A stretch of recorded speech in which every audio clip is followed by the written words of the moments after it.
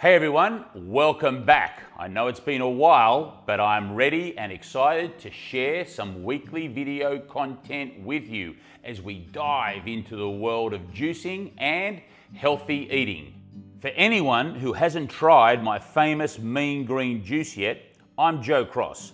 In 2007, I traveled across America to film Fat, Sick and Nearly Dead, which, after its release in 2011, went on to be seen by more than 30 million people. In the film, I did a 60 day juice only reboot and went on a quest to save my life. The movie and my journey has inspired millions of people from all over the world. It's been a truly humbling experience. If you're looking for that little bit of extra push, that motivation, watch my movie. It's for free on my website. The links are below.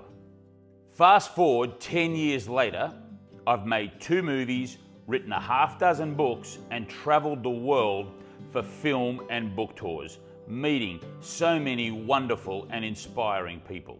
If you followed our YouTube channel, you might notice we've changed the name from Fat, Sick and Nearly Dead to Joe Cross. Quite simply, that's because there's going to be a lot more of me. I will be posting videos here every week. Follow me to New York City as I revisit the locations of where Fat, Sick and Nearly Dead began. See what my day is like over here on the West Coast. There'll be other fun videos about my life and how I manage to eat, move, sleep, and rest.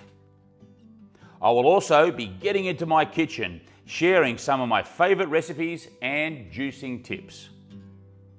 I know, I know, it's been a while, but I'm back and I'm excited to be here.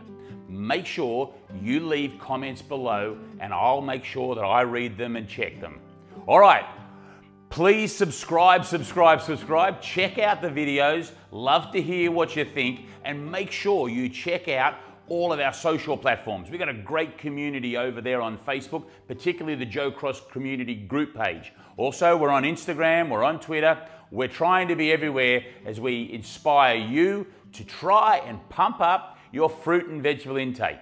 Okay, that's it from me. Enjoy the videos. Joe Cross signing out with a big juice on.